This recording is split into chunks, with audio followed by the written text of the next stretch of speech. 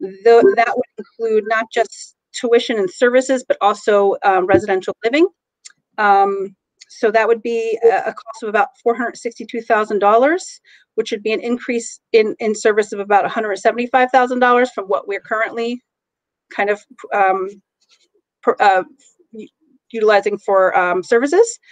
Um, and, you know, just with thoughtful planning and, and, and again, all of the review that we've done, um, we, we were able to make um, some adjustments of close to 600, a little over $659,000. So again, you know, just know that we are every day keeping an eye on what's happening, making adjustments as needed. Sometimes it's going to work out in in favor of the budget, and other times it's not. But um, it's just that's the world of special education. So that's our budget.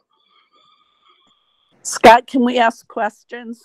Absolutely. Yeah, this would be um, a good time to ask questions. We'll stop at the end of each of the um, presentations and open so, it up to the board questions. So, Chris, Christine, this is Judy. Thank you so much for that. I, I feel like that was really um, clear and helpful. And I absolutely love that you said for budget reasons, you know, um, with students. I just have a question because I can only see a little bit right now on my screen. With the student who will go residential, the budgeted amount that you figured, did you um, factor in excess cost for that? Because you'll be, as you know, reimburse money for that student. So for the budget, did you factor that in or or not yet or so not yet and and without Sorry. getting into too much detail this is a, a potential. So um yep yep yep. Yeah.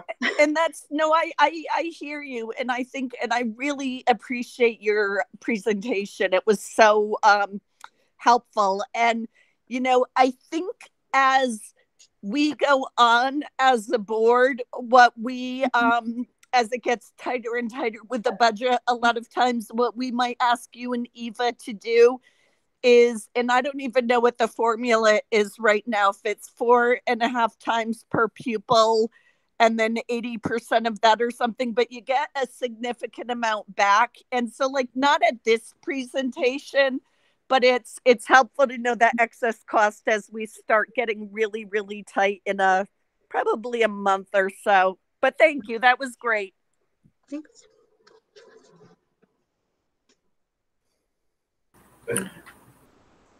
I guess that was me, Steph. Yeah, go ahead, Vin. Um, I, I, just want to echo uh, what Judy said about the excess costs. It seems like we we have uh, big tidal waves regarding you know how much we're getting for excess cost, and then when it comes in, we got a big surplus like we've had the past few years. Um, so I'd like to see if we can really uh, try to get a, a, firm handle on that to help us with the uh, with the budget projections. Um, second thing is just a question: um, How do these numbers stack up against last year's enrollment? Because I know going into last year, I thought we had a, a, a sizable decrease. Um, and I'm just wondering, uh, is this still a decrease again this year, or are we kind of flattened out? Are you talking about the number of number of students uh, getting service? You, you um, are you overall or out of district programming? if you if you have the numbers for both like you broke it down to the the 26 18 and, and then 8 and then the 6 magnet is that comparable to last year if you don't know yeah. it you can get back okay yeah that's about even because between the, the three students that came in and the two that have left the district we're about even with where we were last year for that and were we able to move any um any of the out of district or magnet back into our program in-house any students? yeah. Um, we have not had we have not had any students returned to district recently. Okay. It is something that we continually re review and work on, but just hasn't. And and I remember as we have students who reach that um, transition age, a, a post secondary education, mm. you know it's really best for those students to move on in some capacity um, so that you know they have the best opportunities they can before they reach adult services. So um, that plays a fact you know is a factor as well. Thank you.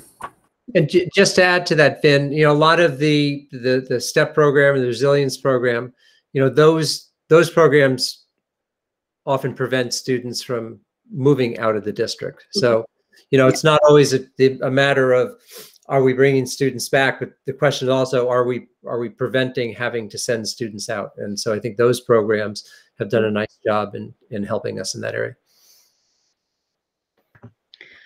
I have a quick question. The um the age 22 um budget, the 379 that you think will cost us um less this next year, has that been calculated into the budget yet? Or are we still waiting to for that to firm up before we um calculate that into the budget? So Scott, I believe that's, that the adjustments have been made on our end, but obviously they have not been reflected yet in, in, um, because it just happened recently. So we have made those adjustments, Mhm. um, to our budget requests. Um, You'll, you'll see those in a few minutes, Stephanie, when we do the adjustments to the budget. Okay, thank you. Are there any others? Stephanie, Yes. Joe. Oh, go Yeah. ahead, Kathleen. No, go ahead, Joe. I'm fine. Uh, I'm going through the budget book and pardon me, this is, uh, I haven't looked at this, uh, other than tonight, unfortunately.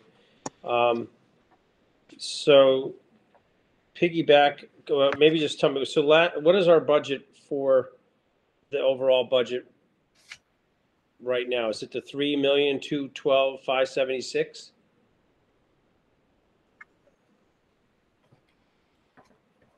that would be the previous amount, I believe. Although I have, That's on page twenty of the, of the book we got over the weekend.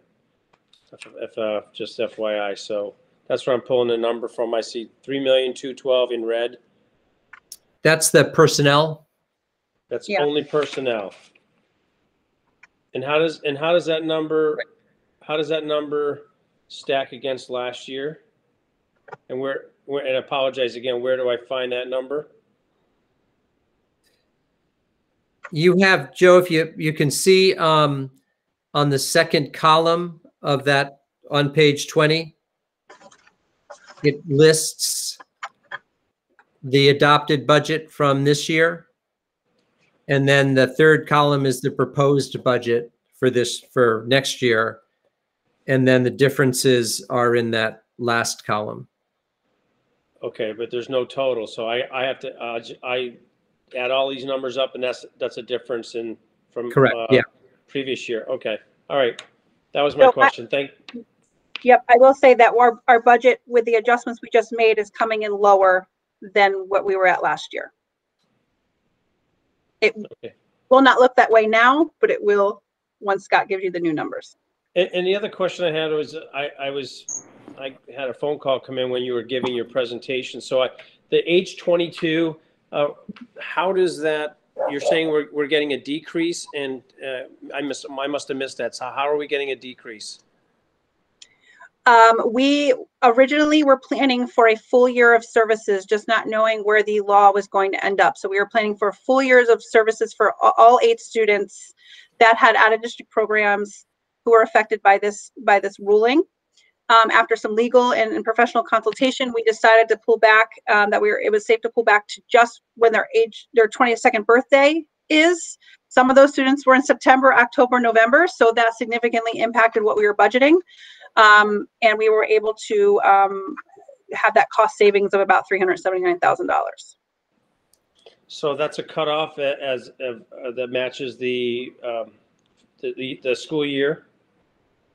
That's a cutoff that matches what the current state guidance is, which is when the student turns twenty-two. Whereas previously, the guidance has been that services end at the end of the school year in which they turn twenty-one. So these students would have exited at the end of this school year, which means we wouldn't have had to plan for any more services for them. But because of the new guidance, we have to continue to plan those services, which excludes summer planning as well as um, you know, regular school year planning until they turn 22. So if a student turns 22 in February, they end in February, they're no, they don't go to June? if their birthday is February 9th, their services end on February 8th. Got it. Okay. Thank you. Yep. And Christine, does adult services at that point pick them up? Yes. But yeah. Yeah. Yep. Yeah. So they get picked up, Joe, by the kind of the next agency in that chain of services. That's good And know. at that point, our obligation, our, our financial obligation, there'll always be our students, so we want to see them do the best that they can, but our financial obligation ends at that point. Okay. And that number again, Christine, was roughly, what did you say, 379? Roughly 379, a little tad bit under, a couple dollars. But Thank you. Mm-hmm. Well, Christine, this is Kathleen. Great. Hi, thanks for all you do. I know it's a, um, like you said, it's fluid. um, especially in a, a year where you're not you're not quite sure if you're in or you're out or what other places are doing. Um, I totally understand that, and I know you never know about excess costs. That'll we'll have to wait to see what happens. I just have a quick question about the uh, twin dip of the time uh, time with non-disabled peers. I remember we talked about that last year, Mhm. and there was some um, discussion about changing some programming. Mhm. Has the time with non-disabled peers percentage changed at all this year? Are you able to even calculate that because of the hybrid model and all that? Yeah, so the current situation makes it a little bit challenging. Um, you know, and unfortunately, it's as as you probably are aware, the state data that comes out is a couple years behind. So um, we're we're just doing our best to um, maintain our our current. Um, we, you know, as we we discussed last year, our, our co-teaching is very strong. Our co-teaching relationships are very strong. We feel strongly that really helps support students, but we we are continuously trying to figure out more creative ways to support students using that model, but also promoting independence and and ready and based on readiness and things like that that can help um, increase that percentage. Um, so it, it is a work in progress. Uh, this year has definitely um, not helped with with trying to um, spearhead that, but um, as as we're a little bit in survival mode right now, but we are as we write IEPs for next year, continually having that in mind as we program for students. Mhm. I'm glad to hear that you're still utilizing the co-teaching model and that's working um, for you guys. Um, thank you for that update.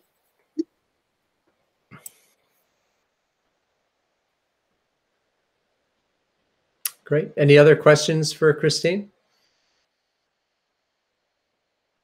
Okay, I'm going to go back sharing my screen. Thank you, Christine. Thanks, Christine.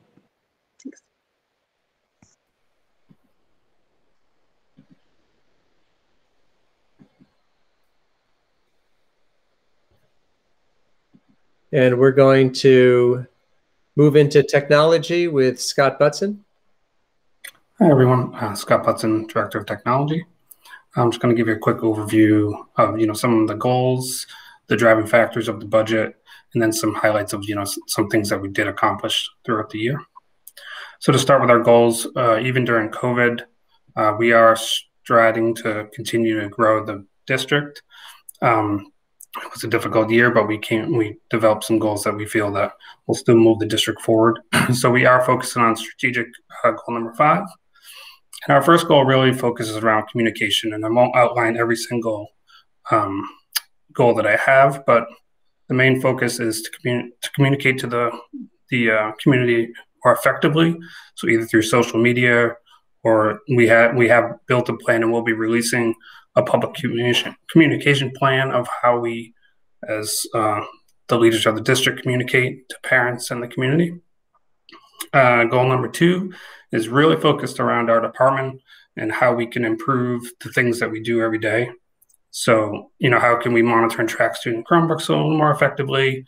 Um, a big one on the on the top right now is more around, you know, how can we alleviate any kind of cybersecurity threats? So this over the past two years, we've installed a you know higher end um, Palo Alto firewall, and we also inst- installed the end user client software, which really focuses on protecting the end user from any malware that could get in. And goal number three, you know, focuses on the instruction. Um, you know, along with Eric Nunes and I, we try to build resources and push in the classrooms and virtually now um, and really build out resources that teachers can use to help with their instruction. Um, we've really built out the instructional technology site and the technology site to have a place for staff and community members to go to get information related to technology that helps them move things forward. Uh, next slide. So these are really our budget driving factors. Uh, we didn't see any really um, substantial decreases in the budget. Everything pretty much stayed the same except for the things that you see on this page. so we're going to continue with our life cycle lease package. Um, and you'll see this in the next slide. I'll outline the package. But on page 29, there's a graph that outlines where we're trying to get with the lease package. So in in 2023, uh, 23, 24, we should have this line to an even line where we will never have to increase the line again unless we want to um, be able to implement more equipment into the district. So that's what I've been trying to do over the next, the last uh, two and a half years. And we're, we'll be there in um, 23, 24. Um, we're going to finish uh, replacing all the aging switches throughout the entire complex. We've already replaced the core switching um, in the high school in our main closet, and we'll re- finish with 50,000 this year. We'll finish the implementation of that project. And the rest of the items really focus around software. And we've been trying to streamline our software process over the years um, and really understand what teachers are using in the classroom and what they need in the classroom. Some of these at the top, the top three, are somewhat COVID related. Uh, Schoology is the platform that they're using. Set, uh, I like with Google Classroom, but it gave them a little more in the assessment area. So we were looking at Schoology to implement more strategic assessments for students. And number two is um, Google Enterprise, which does help in a COVID situation, but it also helps in some of our backend reporting that Google lacks with, without paying for the enterprise version. When you're going with the free version of Google, um, you, you're missing some of that reporting and features capability. But along with that did come some extra Meet functions, such a such as breakout rooms and and a few different um, features like that, but more around um, reporting for us. And then the third one is to give teachers another option for how they instruct uh, the students. So we were we're gonna we're budgeting for the full uh, Zoom Education Pro for teachers. and then the next one we have been using all through COVID and before we before COVID started, we we use Securely to really filter students uh, at home, and we're also using us going to begin using Securely to help students virtually so the teacher can see what they're doing and help them more effectively than not being able to see what they're doing on their devices. Uh, the the Swank product is to help uh, teachers be able to play any kind of um, movie that's out there legally. And we really focused on this because we did we are moving away from DVDs and things like that and trying to go more online. So with this product, they can really see all the major motion pictures uh, legally and play them in the in the school. And Kami teachers um, really wanted a piece of software that they could mark up PDFs um, virtually and you know just for normal instruction. So that piece of software will help them do that, and that's partially grant funded. And the full amount was forty four hundred for the year, but we'll supplement some of that with grant funding. And Screencastify was a big one that everyone really wanted, and the dollar amount for the district license compared to the individual license did not make sense at all. So for 1650, we were able to get everyone Screencastify in the entire district, whereas I believe it was $100 per license the other way. And this allows teachers and anyone that's in the district to be able to screencast and record their screen actions and be able to save that in a shareable format so that um, you can see what they were doing on their screen. Um, next slide. So this is the uh, the 2021-22 lease package that we're proposing. So this again would only be a $60,000 payment in the budget. So we're going to replace again seventh grade and 10th grade Comets, which we've implement, implemented a three-year replacement process for that. These devices will have a four-year um, accidental coverage on them. And then we're going to replace all the computer labs in the art department. So that's um, three Mac labs. We're going to replace aging uh, art department teacher laptops, which are nine laptops. We're trying to move away from the smartboard projector model um, as projectors require bulbs replaced constantly and reduce some costs there where um, with these classroom LCD touch panels, um, these have a life expectancy of 10 years. So this would be a, a big replacement for smartboards and projectors. And then we're focusing on replacing some of the very old uh, media center desktops that are still running some Windows 7's machines. And then we're going to look at a couple um, administrative laptops that are, are due for replacement. And what I always like to do is kind of highlight some of the things that we did do. Um, you know, we always say what our goals are, but I really like to focus on what, what we did do last year. So we did conti- continue to develop the uh, technology coaching model with Eric Nunes and really help have him help teachers with instruction.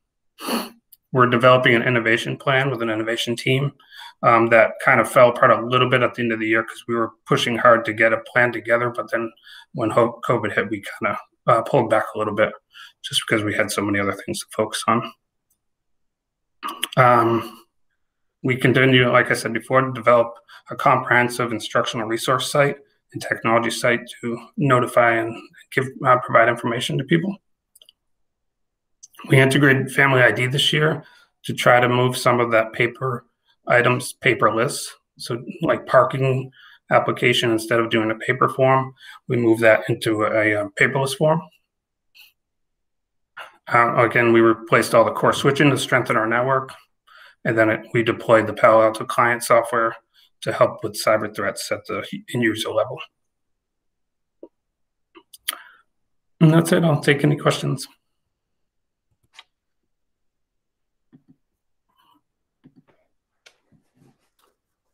Any questions for Scott? Thanks, Scott, for your work. Uh, this is Vin. I just had a question about the lease. Um, we're seeing some drastic numbers with the reduction in enrollment. Um, do these leases take that into account? Because that 60,000 seems to run out to 2025. So I'm wondering, you know, with, with, you know, 90 less students this year and, and 70 less last year and the numbers coming up, where are we taking that decrease into account? So when we get to the 20, if you, on the graph, when we get to the 23, uh, 24 school year, we'll never have to add to that. We'll have four rolling, four four-year rolling leases all the time and whatever we determine we want to use with the funding. So it's basically 240,000 then minus the finance charges. But whatever you want to pull and push into that 240,000 you can. So wherever we go with innovation, we'll have the room to go there. Um, so if we have to reduce the amount of Chromebooks because of enrollment, we could move the, the funds into somewhere else. We just flex what we want to do that year, depending on. I mean, the Chromebooks pretty much drive the the major amount of the money, um, but as we see declining enrollment, we could, you know, push more LCD to replace the projectors faster, things like that. So you have a lot of flexibility there. Thank you. Stephanie, Joe, um, Scott, thank you. Um, just to piggyback on Vinny, so overall, that is going to be our our our goal is to continue with this this funding level of sixty thousand per year for the foreseeable future, and within that, like you described, you're going to have um, avenues to expand on whether it's you know other other technologies. So that's that is that's going to be our continuation plan, correct? Yes, and, and eventually we'll get to a place where we you'll never see an increase in the budget again, but you'll be able to get the um, the, two hundred forty thousand to, to buy additional equipment you'll never lose the ability to buy equipment and never have to go back to the towns for for additional lump sum of money. Like some some districts go back to their towns, you know, for three hundred thousand a year to do whatever technology items they wanted to do, and that and that's not a great place to be sometimes, especially in financially hard times when you know that's a that's an easy place to go and say, you know, we don't actually need that stuff. We want to you know drive more instruction and move away from technology. You know, so it's kind of a kind of good place to be with it. Yeah, that is. Uh, my my other question was um, when the, this uh, funding for teachers to look at. I'm just curious. Uh, can teachers, when you're looking at the students' work, is it's kind of like you know when you have IT help and someone shares your screen with your IT people. Is are we doing stuff like that with it, with with teachers uh, with students where they can share screen or no? That so Securely when when we get and this could be a whole nother conversation for a whole board meeting, but when we do implement Securely, you can't teachers can look at students' screens, but they cannot control student screens. Um, students can raise hands or chat and things like that with the teacher, but they can't control their screen. Teachers can see what they're doing, that's it, and assist them. Okay, thank you. Yep. Um, Scott, this is Kathleen. How are you? Good. How are you? Good, thanks. Just a quick question. You had mentioned about desktops in Mhm. the media center. With students having their own devices, uh, what are what is the usage of the desktops? Um, and are they up to date desktops, or I'm just not wasn't sure having you know can't get in the school see why kids are using them. Is it still necessary for desktops? Yeah, it's one of the last pieces that we've we focused on to replace. You know, we worked all the way from getting Chromebook cycle in place, teacher laptops, you know, high-end computer labs, and now we're focusing on what we do in the media center. So we are students do sit there some on occasion, and they'll you know want to work at a desktop and do work on a lot, little larger screen. So we are we are putting desktops back in the media center, just not as many as they have in there now. And they are really old machines. They're still running Windows 7 and, and antiquated. So at the high school, not so much. We we only have print stations for them, but we find at the middle school students do like to go in there and sit at the actual desktop.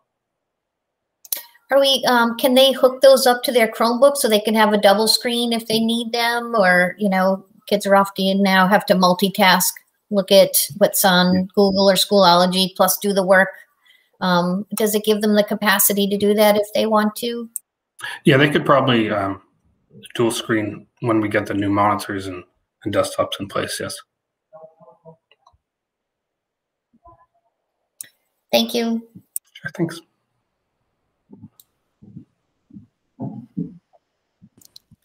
I had a question, Stephanie, if that's okay. Um, Scott, thank you so much. This is really thorough. I can see everything laid out. Um, for the software, I just had a question on those top three line items that you said were primarily as a result of COVID. Um, so is is that sort of if we if we have sort of a normal typical school year next year, um, do those uh, line items go away? Do they get reduced? Are they staying regardless? Um, do you have any thoughts about about that? I know it's hard to plan for that today. Yeah. I mean, I mean the Google um, Enterprise. I would I would suggest that we keep that in there just for the reporting purposes alone. It does give us a lot of more visibility into things that are going on in the network um, and uh, on on the platform.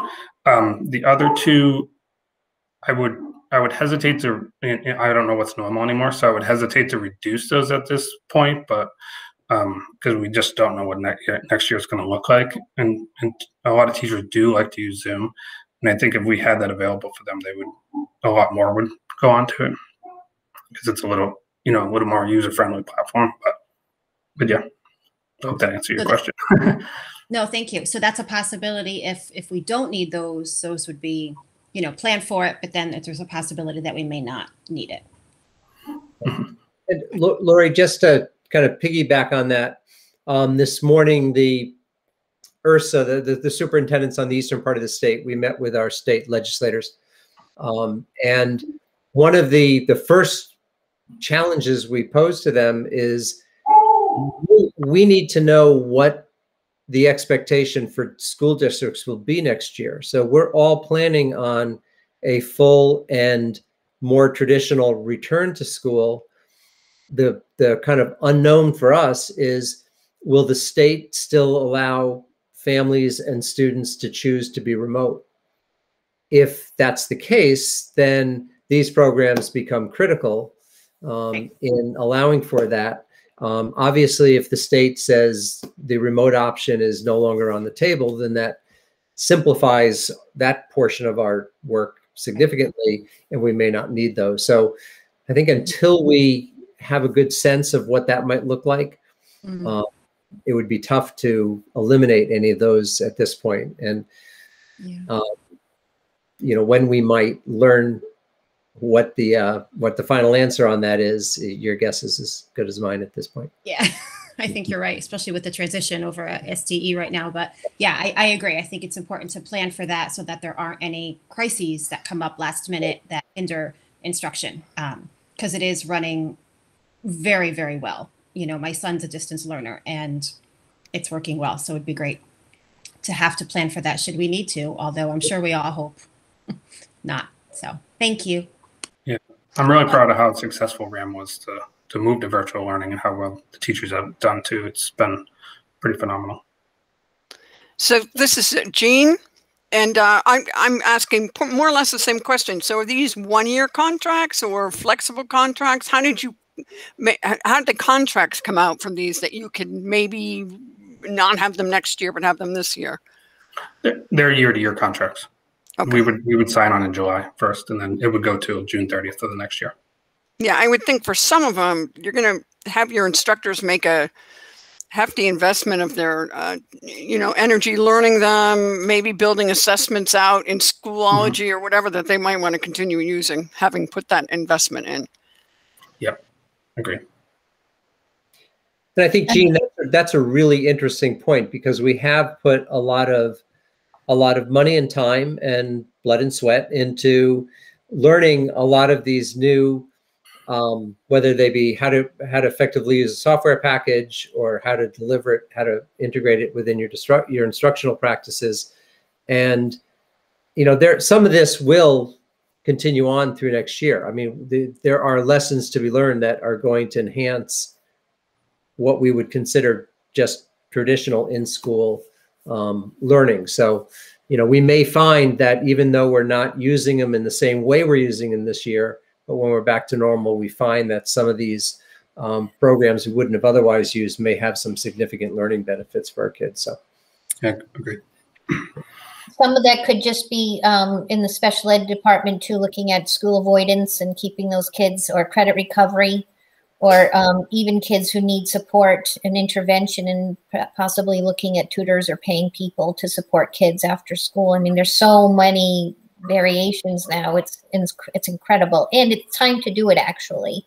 Um, Mhm. not to say that we should move away from traditional schooling, but it does offer us other things that help um, our learners be good, productive adults.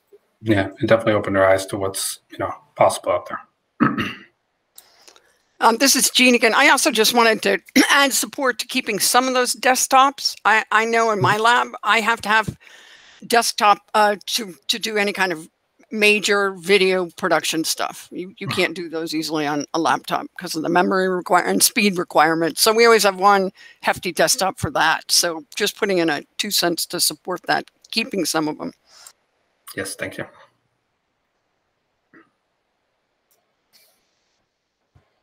Okay. Any other questions for Scott?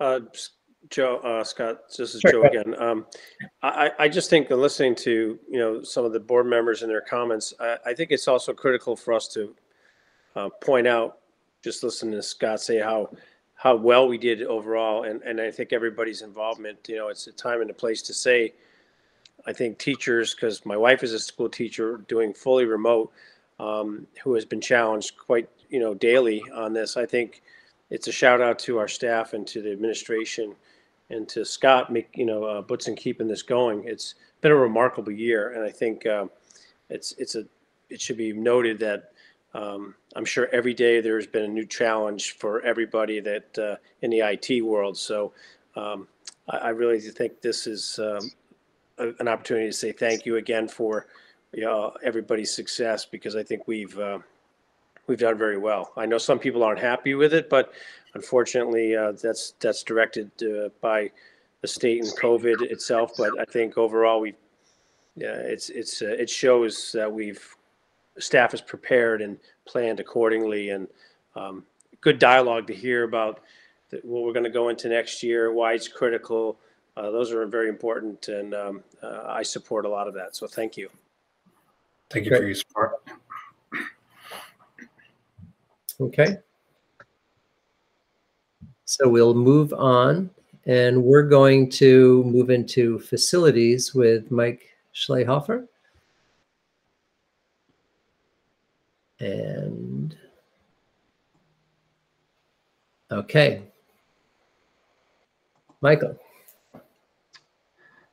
Thanks, Scott. All right, good evening, everybody. Uh, my name is Mike Schlehoff. I'm the Director of Facilities.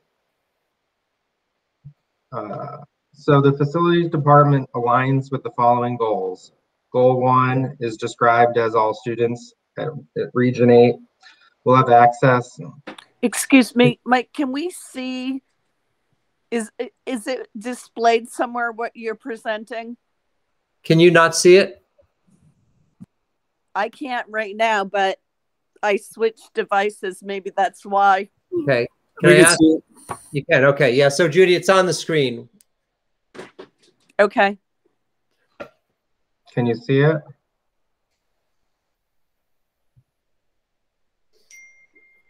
Yes. Okay. You can go on, Mike. All right. All students in Region 8 will have access, access and um, actively engage in a variety of learning opportunities where they can experience growth and develop skills to be successful in college and or career as citizens in an ever-changing world. And goal five is described as enhancing facilities in order to support innovation and fully accessible teaching, learning, and extracurricular opportunities. Of course, in order to meet these goals, it's important that we maintain the school buildings, grounds, and athletic fields so that we can continue to build lasting partnerships with families and community members. This also helps to engage the community through the use of facilities, both in and outside, which also supports our theory of action plan by creating inter interactive learning spaces and extracurricular activities. Next slide. Some key driving factors in next year's operating budget. So custodial temp services has an increase by approximately $64,000 due to COVID. This will supply us with additional staff to disinfect high touch point areas throughout the facility each day. Custodial supplies have increased by approximately $52,000 due to possible full return in the fall. This would cover PPE for staff, students, such as hand sanitizer, wipes, face masks, gloves, and additional plexiglass if needed as well. Security equipment has an increase by approximately 14,000 as we're looking to install five cameras throughout the main kitchen and two serving lines. It has been identified that these areas are in need of cameras for safety and security reasons. Another one is um, food service equipment has an increase by approximately $4,400. We uh, currently have seven portable refrigerators that are about 18 years old. We're looking to start purchasing one new unit a year to start phasing in new equipment into the kitchen. Um, building sewer fees have increased $12,160 from the 1920 operating budget. Currently, Region 8 is billed 76 EDUs, which stands for equivalent dwelling unit. In June of 2020, the Water Pollution Control Authority voted and approved a sewer fee increase on EDUs from 350 to 510 per EDU. Um, some decreases in the budget um, are as follow. Building inspections, even though there are some decreases in this account that um, equal about 13,000, we're still moving forward with our yearly inspections, which include the stage rigging system, backflow preventers on the water system, roofing inspection, safety eye wash and shower stations, fire doors, bleachers, both inside and outside, overhead doors, gym hoops, gym curtains, and fire suppression systems. Uh, looking at natural gas at a three-year average, there's an approximately $13,500 decrease in this account. Um, another one is electricity is decreased by approximately 86,000. We um, finished paying off our energy loan for the HVAC retro commissioning project.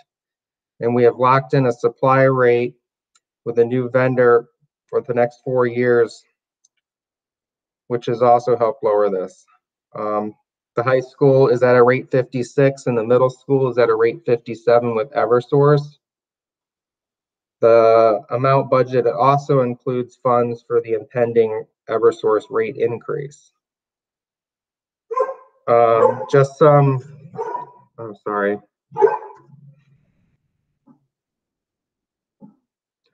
Um, just some back back history on the solar system. So the high school produces 172 kilowatt, and the middle school produces uh, 40 kilowatts. The systems combined produced an average of 288,000 kilowatt hours. Um, any solar that is produced and is not used is sold back to the grid, basically.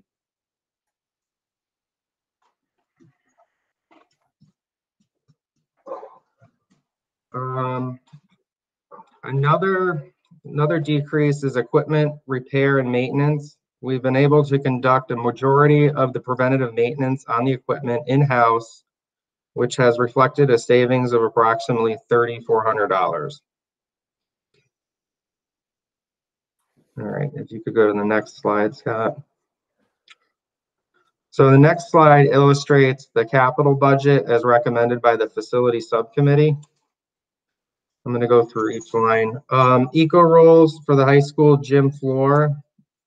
This will ensure that the gym floor is covered and protected for events that take place in the gym at a price of 27500 The middle school guidance suite will be removing VCT and the broadloom carpet and will be replaced with new carpet squares and installed new cove base at a price of 16490 middle, uh, sorry, excuse me, remove and replace stair treads in the seven stairwells in the middle school and replace with new rubber stair treads and cove base of a price of 76,500. Um, in the high school, the head end room and the lighting control room for the auditorium. These units are currently 18 years old. The cost associated with these projects would be $50,000, which includes the engineering fees. Um, this is a uh, year three of the camera upgrade for our camera system, and we have $40,000 budgeted for that.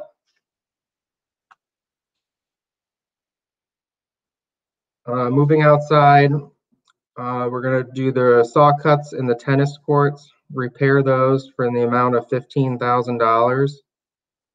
And then also, um, we're going to install irrigation smart controllers for the athletic fields in the amount of $14,000. Um, and then as far as um, sidewalk repairs, so current concrete sidewalks that are failing on campus, we have about six, we have $60,000 budgeted and um, just to put this into perspective, we have about 57,000 square feet of concrete sidewalks on the, the campus. Um, in addition, on page 28 of the budget book, you can review the capital projects that did not get included in the administrative budget proposal. Thank you. Okay, and I think that was, yep, Okay. Questions for Michael?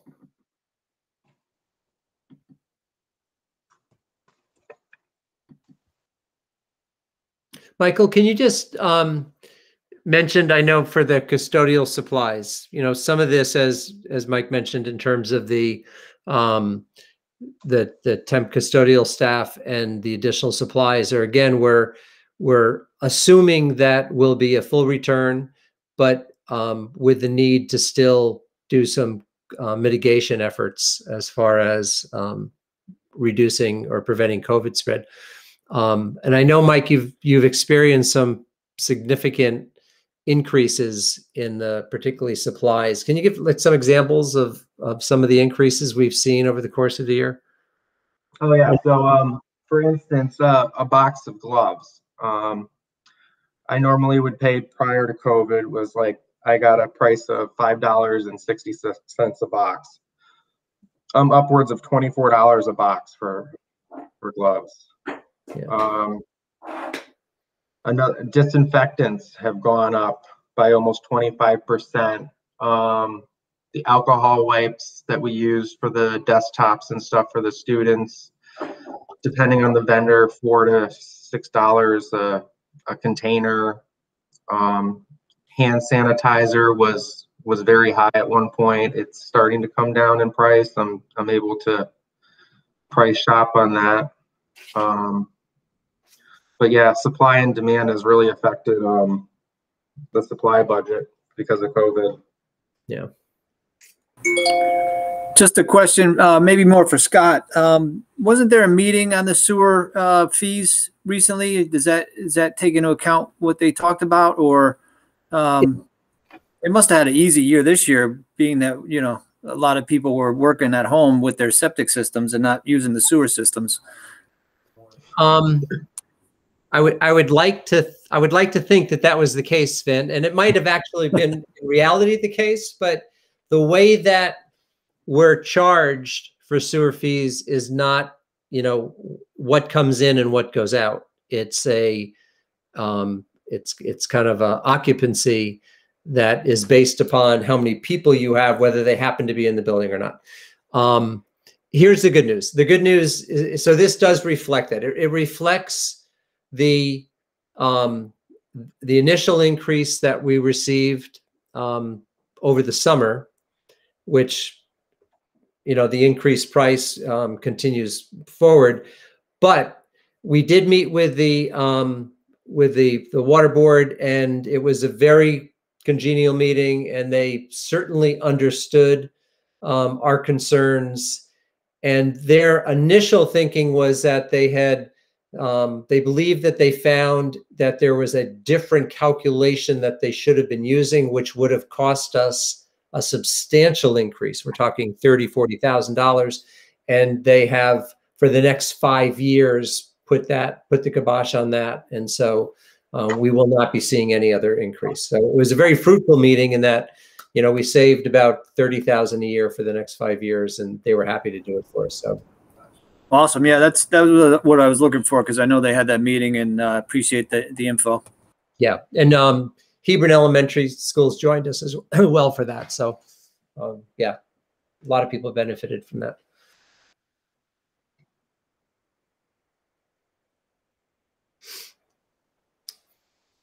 Okay, other questions?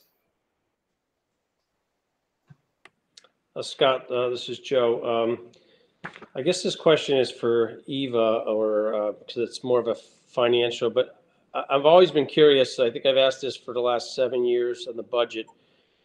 How we know we have solar panels. We increased solar panels over the last few years. Um, we give money back to the grid. I understand the operational of how it works, but how come we can never get? I'd like to know what we pay in electricity and what we what the benefit and so how you can quantify what the solar panels provide as a cost um, reduction to our current energy platform. So do we know that number? Is it shown? Because, you know, Mike has articulated that we've changed, signed up for another four years for energy. Um, but I never see in the budget how it would be nice to, to, to show that that we have a savings from solar panels versus our our you know mm-hmm. our energy footprint So, Joe, just so I understand you correctly, so you're looking for what the cost of the electricity would be prior to the solar panels and then what it is with the solar panels? Yes, because your, our energy is coming, our primary energy is coming from Eversource, correct? Correct. And also, I mean, for electricity, uh, natural gas is natural gas. We know what that cost is. So what I, I would like to know, and I think the board should know this number, is what is the benefit of the solar panels and how is, what does that number reflect in our energy, pl- uh, our energy footprint? And, I, and I've asked that question over the many, many years. Somebody must know it. And I, that's why I said it was probably Eva's question because, you know, when you're giving money back to the grid, um, or you're getting, I'm sorry, you're giving energy back to the grid and you're getting an offset for that. Um, is that number calculated in our, our line item for energy? So, Joe, to answer that question, we have a consultant that works with us that handles the calculations of this because it is really complicated. But yes, um, everything is captured in that electricity line. Um, as for the four year lease that Michael was speaking about, so because of deregulation of energy bills, we're allowed to shop around to see who gives us the best price for our supply in electricity. So we locked in um, with a new vendor that gave us a really good um, rate for the four years. Uh, it's still with Constellation Energy, but this new vendor that uh, helped negotiate the rate um, was a little more aggressive. So we were able to benefit from that. So all of that is taken into account, but I'm sure we can get something from the consultant and we can have um, Mr. Leslie share that with the board. Okay, since you brought up Constellation Energy, so is this a variable rate or is this is this is a uh, a locked in rate for four years with? It's a locked it's a locked in rate, but annually the rate I believe increases. And Michael can correct me if I'm wrong on that. I would have to pull the contract to verify that, but I can get back to you. Okay. Um, the other question I had, Mike, is um, or Scott, Leslie, um, how is the middle, middle school? We did, we replaced the flooring in the mi- uh, media center two years ago now, and um, I'd like to know how that, since I haven't seen it this year, how is it holding up? Mike, I'm going to let you take that one. So you're, you're referencing the high school media center? The high school. High school media center, yes, sir. Gotcha. Okay. Okay. Uh, so it, it was chosen to put luxury vinyl planking in that, that space. Um, there's, it's holding up relatively well, um, but there is some areas where there's some, uh, scratching of, from furniture or kids, you know, sliding objects across the floor that they shouldn't be and things of that nature. So that there's some wear and tear that's starting to show on it, but, um, overall it's still in, in very good condition and aesthetically looks good. Would we consider utilizing, uh, using this again for futuristic rooms or anything? Personally, I wouldn't recommend it as for a product for flooring in a school. Yeah. No, I, I would concur. Okay.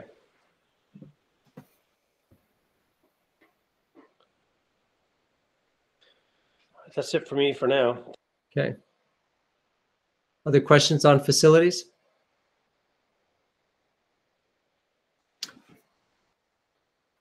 Okay, well, you know, this this is this this is kind of a first for us because in looking back over previous um, budget workshops, I saw that um, the board had never enjoyed a formal presentation on athletics. So um, I've asked Dan Trudeau to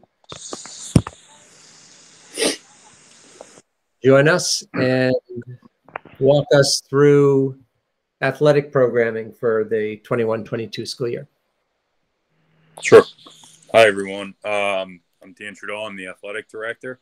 Um, I am working off my phone right now just because my internet's a little choppy at my house. So um, I apologize if, if uh, something's not coming in clear.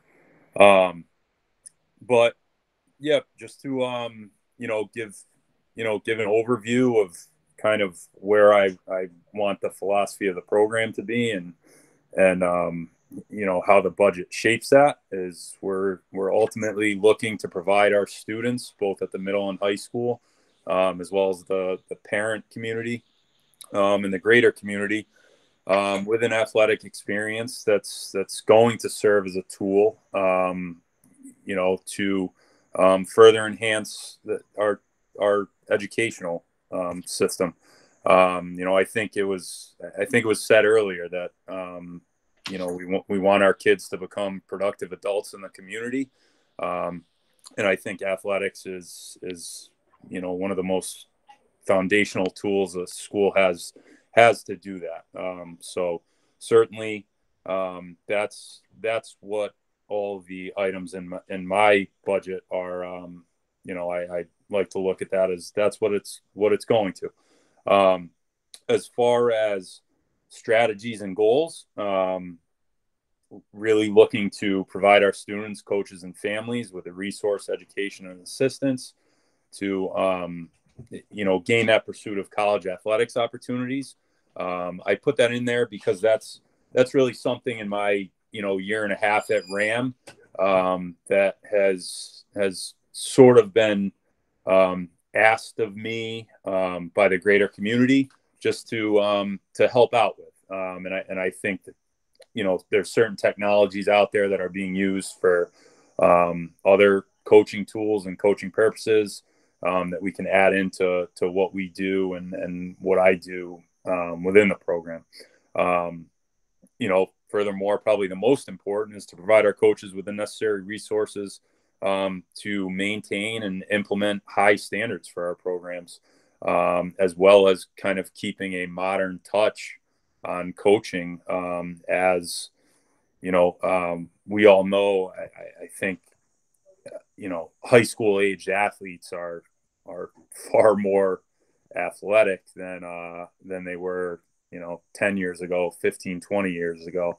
Um, and and with that has to come, you know, more modern coaching. Um, so again, continue to provide my coaches um, and the staff with the tools to tools, resources um, to do that. Um, you know, certainly um, I'm big on on the optics and, and uniforms and and what you wear is, is something that kids are going to be proud of and it's it's going to it's going to create a certain pride in your program it's going to make more students hopefully want to be a part of the program. Um, so, you know, as we've talked about before, I've established a uniform cycle, um, you know, replacing uniforms on, on about a varsity uniforms on about a four year basis, allowing our varsity uniforms to stay um, in good condition through, you know, any any student's high school career cycle um, and then allowing those varsity uniforms to be turned over to JV uniforms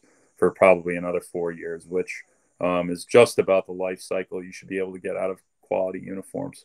Um, you know, another uh, big objective with with a lot of what uh, um, we're doing is working to align the middle school and high school programs with one another. Um, you know, there's not a huge, uh, you know, budget uh, aspect to that, but um, it certainly plays into the strategies and goals of the program.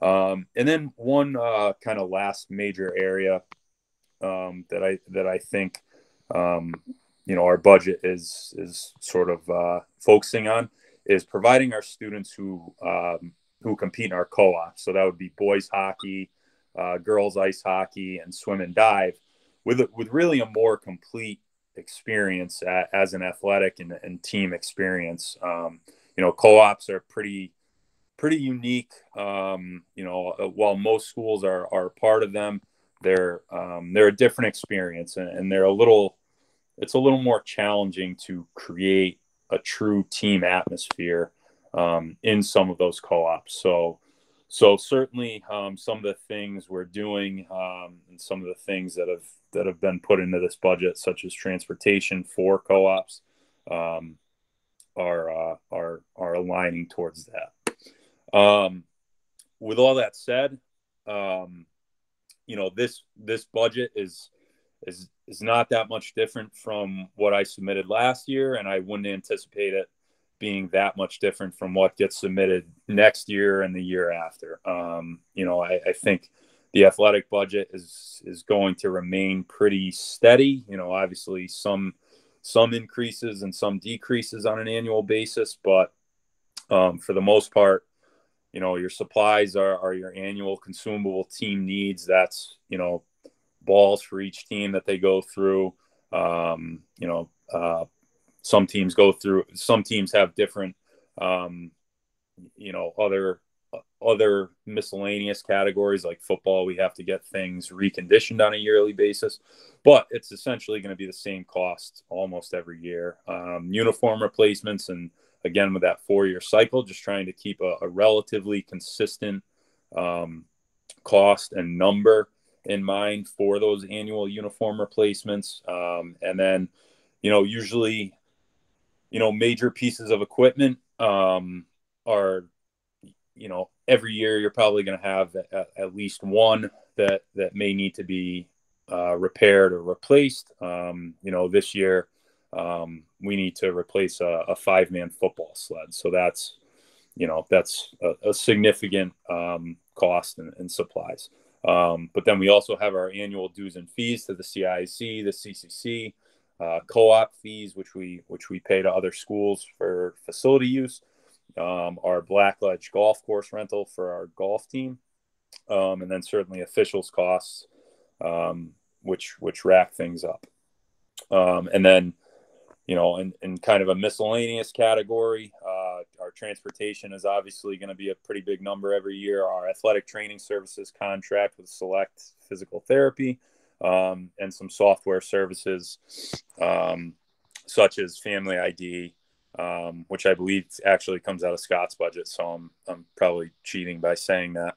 Um, but Hudl, which is a, a coaching tool um, that you know allows us to film um, pretty much every game. it allows coaches to keep a database of the film. it allows students to, to use it as a tool um, for their own recruiting as well as their own, you know, kind of learning of the game. Um, as that's become really more of a departmental tool this year, um, we're still learning some of the ins and outs of it. Um, but then also our, our ImPACT concussion software. Um, so again, that's um, just kind of a, an overview of, of next year's budget, but I think annually that's that's pretty it, it's pretty on par with what it's going to be, and and as long as the concepts stay the same, um, outside of wanting to add a program or two down the road to increase opportunities, I, I don't see um, you know significant increases anywhere. So, questions.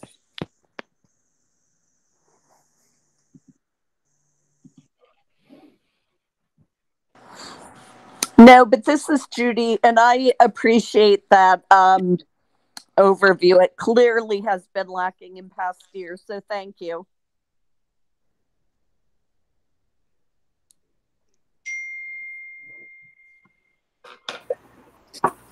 Just a non non budgetary question. Uh, are we anticipating getting any parents into winter games this this season, or is that tabled for the whole season? I mean, I, I think it's I think it's a fair question or a fair a sentiment to say that we'll we'll we'll reevaluate it. Um, you know, obviously we all know the numbers in the state are going down, and um, you know, but we're also being told to to be wary of, of March and what could happen. Um, you know, I think in the conversations I've had with um, Penny and and Scott, I think we're all certainly open to that reevaluation of the decision. Um, you know, in a in a in a few weeks or so. But you know, I, I don't want to make any promises or you know shut anything down completely. So. Um, Dan, thank you for the um for the sports. This is Kathleen. I'm sorry.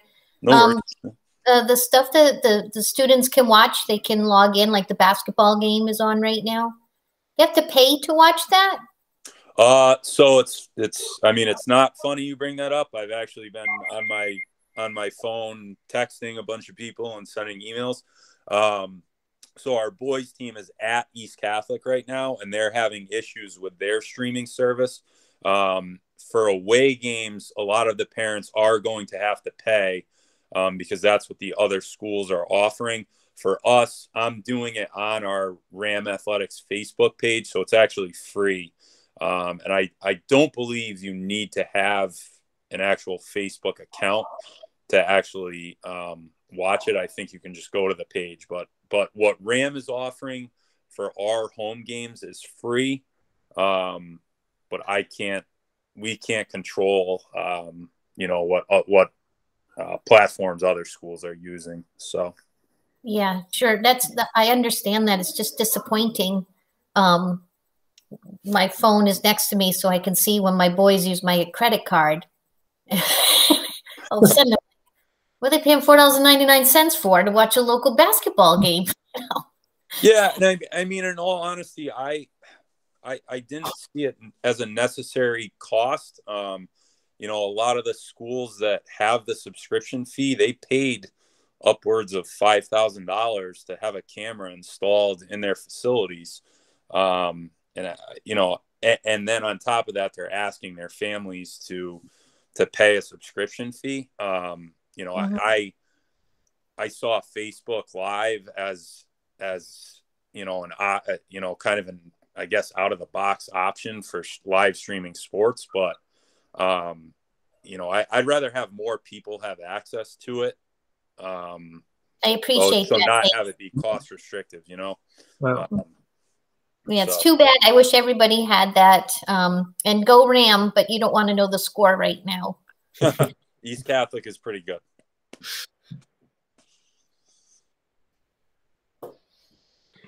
Dan, this is Joe. Uh, my question on the on the uniform rotation is: Is this typical eight years? Um, I know it's not typical for RHAM because RHAM has been a lot further than uh, you know, greater than eight years in previous years. As probably Scott can attest to. But is that something? I question that eight years, four years in varsity, and you four years down to JV. Um, what about our freshman uniforms? If if we have freshman sports, I mean, the, obviously these last two years have been um, probably non-existent, but is that typical? Four years for um, for for um, for varsity, and then they pass I, them down to JV. Are we not buying JV uniforms at the at the same because varsity uniforms are are obviously for as as as a student matures. I mean, they're they're bigger, right, than than JV. Um, no, yeah, I mean the size thing is, I I get where you're coming from on that. I I've never had that come up as an issue. Um, you know, so I, I think recycling the varsity uniforms down to JV is the most practical way to get, you know, really the maximum use out of out of a uniform. Um, you know, I, it, it is that is the the most typical practice that you would recycle your varsity uniforms down. Um, you know, I, I do know there's some districts like I know, um, for instance, I know Darien Public Schools, their uniform replacement cycle is is three years. Um, but I I know there's other schools that are, you know, up to five years. There's schools that don't have a uniform replacement cycle and just kind of uh, you know they go as long as they possibly can and then when it's time it's time um, you know i look at four years as a as a fair number um, because i i think that no student would ever go four years without having a new uniform if they were a four year varsity athlete. Um, just because if you come in as a freshman and your team gets new uniforms you know you're you're getting that uniform. Um, so and and it, and it, you know four years is you know it it, it keeps uniforms in, in, time with the styles. Um, I, I, don't mean to interrupt you dan but my, my guess my direct question is uh, maybe i misheard you you're it's four years for a varsity uniform and it's four years for a jv uniform right because like i said there's size differential i and I, I think you said we're four years is going to be varsity, then you're going to pass those down, down to JV. I, I Yeah. really sincerely hope we're not doing that. I mean, that is that is the plan that we're we're we're on, so that you're getting a, an eight year lifespan out of the uniforms. So, that I mean, that is what that is what we're doing, um, and it's you know, I, I'm not sure what the timeline of of you know previous replacement of uniforms was, but you know, we're certainly using you know our old varsity uniforms for JV now um, and and were last year. But Is, is it is it is it is it is it sport uh, dependent? Uh, I, I'm I'm going to give you my my my my experience with my children. Um, when when they, they got the pass downs, they were, you know, my kids weren't were not big, you know, big and broad. You know what I mean? And then you had this uniform and uh, that's all baggy on these children, and we look like, you know, we don't look respectable. So I, I'm concerned with that. Um, number one, uh, that you know, you have these uniforms that don't that aren't appropriate to, for younger kids that are not you know the same size. So uh, I, I think that's a little bit asking. You know, again, I, I've- I've experienced this, and I I know my my my cousin, I mean my uh, nephews are in the same thing. You know, when they're playing uh, um, baseball, the uniforms have been you know a lot bigger on on some of these kids, and I think that's. Uh, um, stigmatism. So I, I would hope you consider that if that is the rotation, uh, that you know we're not going to dress children uh, with larger uniforms than, than their frames. I wouldn't want that. yeah, I, I mean, I, I agree with you, and I, I, I see where you're coming from. Um, I, I'll say this: I now, granted, I've only been through a fall and winter season um, at RHAM, and granted, my second fall season was different than anything else. Um, I I did not notice it at all last year that that we had students wearing, you know, particularly our sub varsity students, that we had them wearing uh, uniforms that didn't fit properly. Um, y- you know, and with that said, I I, I don't disagree with that um, sentiment that we wouldn't want them going out there and looking poor. I'm probably the you know I, I want our kids to look good in their uniforms um, you know I, and my my kind of honest response is i would love to start you know i would love to spend more money on uniforms um, and and and you know include more money for uniforms annually Hi, in- this is Jean. Can I so. can I ask a question? Um, in this rather lengthy conversation about uniforms. First of all, can anyone answer how long we've been doing this practice at RHAM? Is this like a new practice, or have we been doing this all along? Um, and and the second, I, I don't think we should be, you know, looking at schools like Darien. That's an extremely wealthy community. We're not going to go there. Not not people don't want to pay taxes for that here. Yeah, I I put together a calendar last year, um, just so I could I could call up that calendar and I could tell you, you know, the next ten years of of what year the volleyball team is going to get new new uniforms. Um, and again, uh, you know, Darien is there. They do it every three years. Um, you know, I, I again I put it up to, to four years. Um, and, and, and I wasn't trying to use Darien as, as the example. I was just trying to say that yes, other schools, you know, general generally would go on a three to five year cycle. So, you know, I, I put us in the, in the middle And- of the road. And do other schools then hand them down? Yes. Okay, so it's a fairly common practice. Thank you. Just to go off what Joe was saying, though, um, how does that work with the middle school? Because we're talking about the high school, but um, I, I brought this up before where uh, my boys are playing middle school sports, and it's I did they get passed down from the high school to the middle school? Because we had kids with duct tape numbers, and I do remember seeing kids with oversized shirts that they couldn't even tuck into their baseball pants. Um, so do those uniforms get transitioned from the high school to the middle school? And maybe that's the issue. Maybe we don't understand the middle school so much. Um, I, I, don't, I quite don't, I don't, yeah, I don't believe they did. Um, because I believe the middle school and high school was was pretty separate from each other. Um, So maybe it just needs to be taken a look at at the middle school then.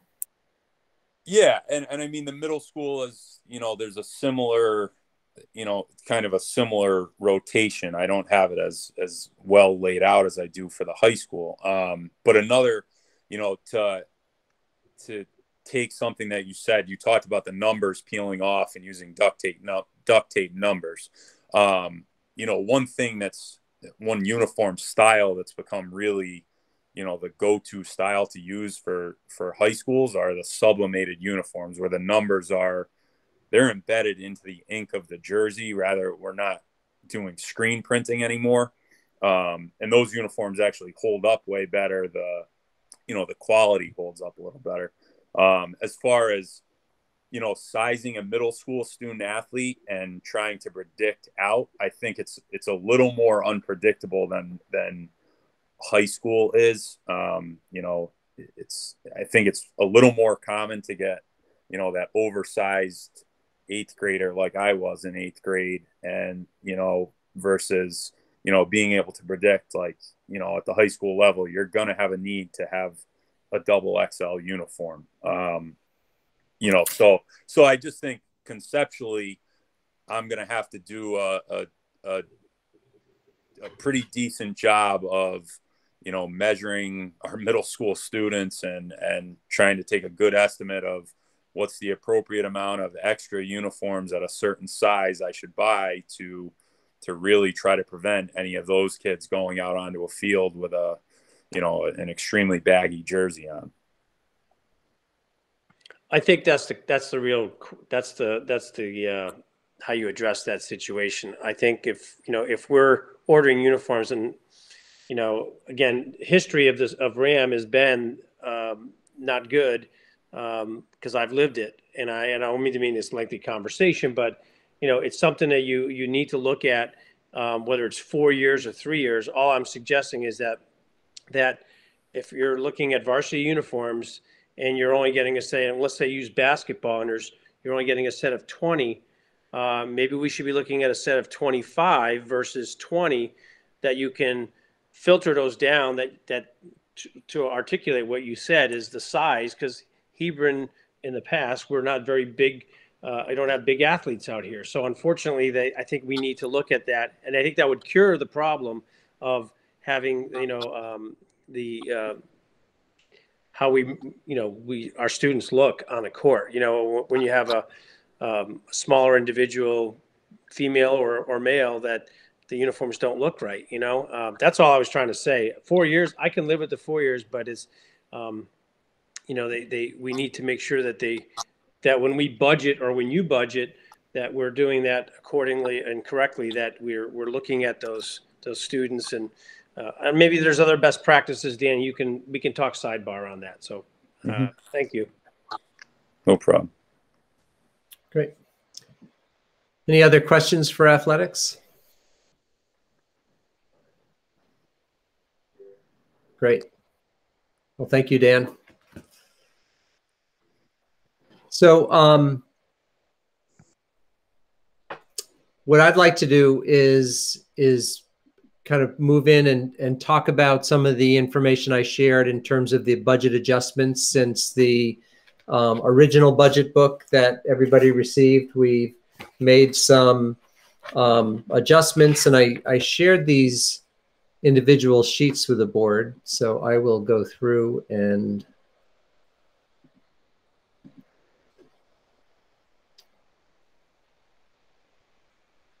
okay. So what I'd like to do is look at um, since we first presented the board the budget and where we are today, as you've heard in some of the um, discussions, there have been some um, oops, there have been some modifications and things have changed a little bit. So what I'd like to do is run through some of those changes just to bring everybody up to speed on where we are and, and why those changes occurred. Can everyone still see my screen? Yes, we can. Okay.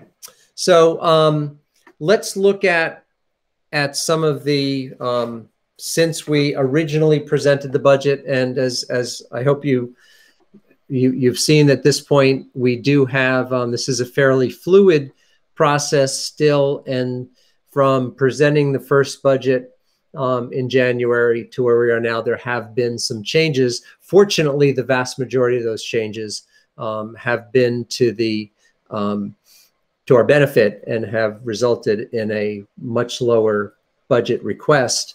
Um, but there have been some um, adjustments that have that have required us to adjust up in some cases. So what I have on the, my screen are the adjustments that we've added, which are adding money to the budget. So for example, we have a, an additional field trip.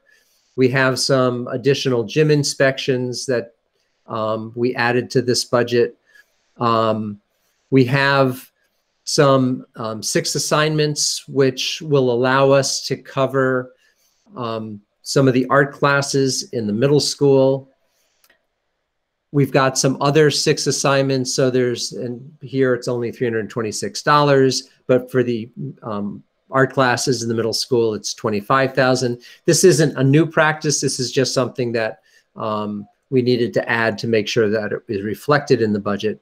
Um, and then we had um, really because of enrollment changes in our health plan, we have a series of um, increases that um, impacted the budget in terms of people choosing a different um, benefit level um, or changing their benefit level. So we had a number of enrollment changes. And as you can see, we're um, they're specific to the departments. And so we have a number of changes that are specific to the departments in terms of healthcare costs.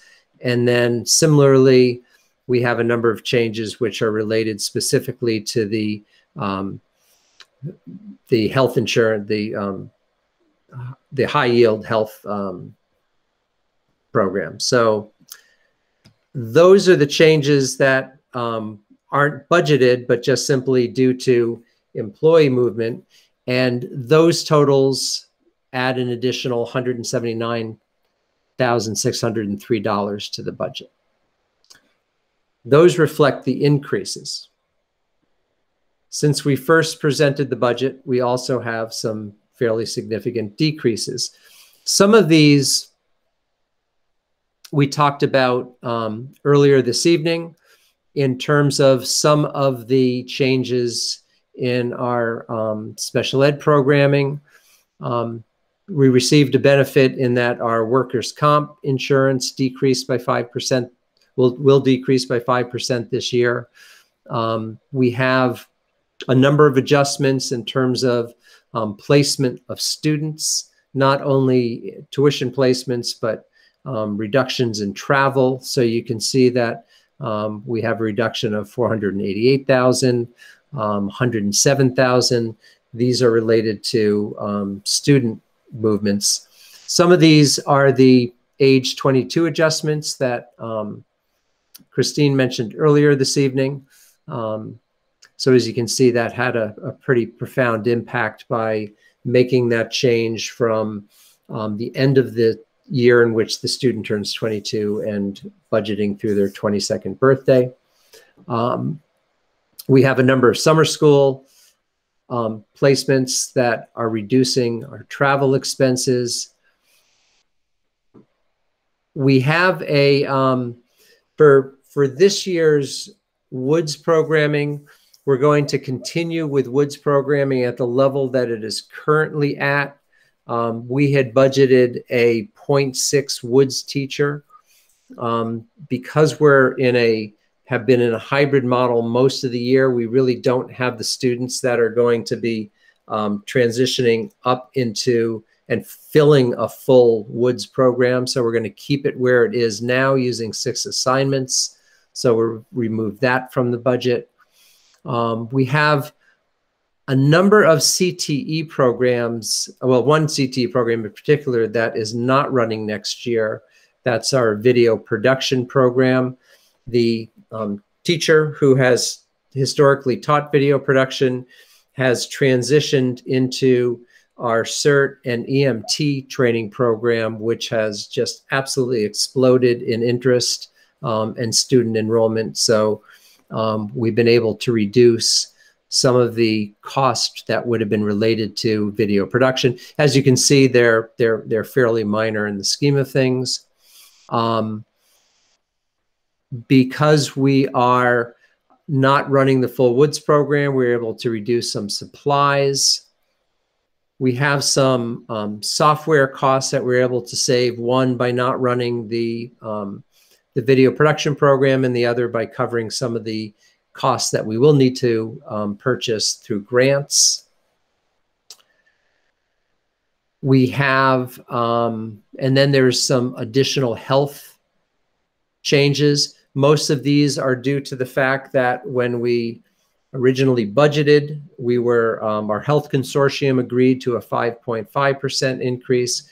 Um, once we, um, actually after we had presented or, or prepared the initial budget, um, the health consortium agreed on a 3.2% increase. And so you'll see enrollment changes for health insurance. And again, those are associated with the departments that those individuals are in.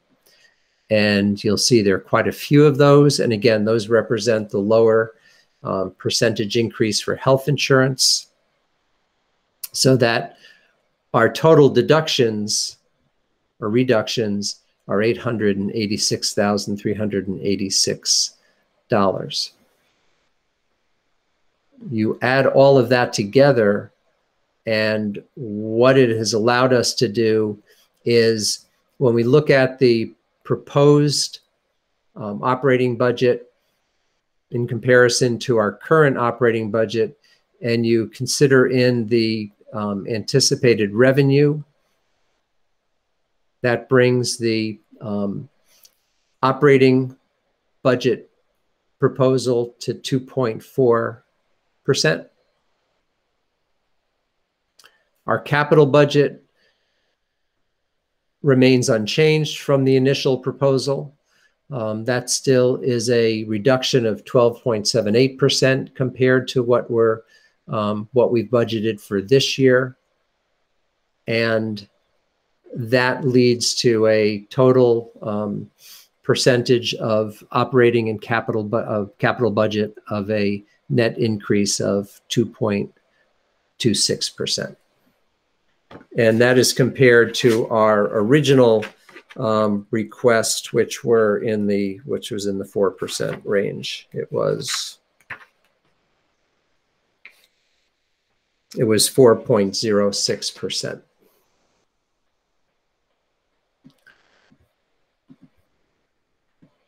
So those those are the the changes. Let me stop there, and I'll be happy to answer any questions regarding those figures. And then I'd like to talk uh, just a little bit about the um, some of the additional state COVID funding. Scott, Yep. if I could just add to what you were stating on um, on the revenues because of the age 22 configuration and reductions, we also had to uh, recalculate excess costs. So your revenue shows a new dollar amount that's a reduced dollar amount for excess costs from what was originally proposed in the first budget book.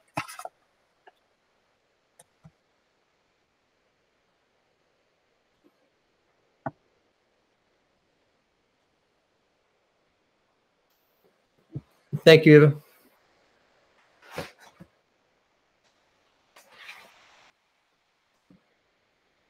So any any questions on any of the budget adjustments?